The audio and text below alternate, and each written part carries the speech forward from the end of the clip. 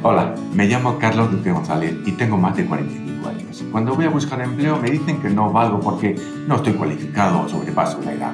Y la verdad es que desde bien joven he alcanzado gran conocimiento y cualificación, lo cual me ha proporcionado madurez y soportar mejor la presión.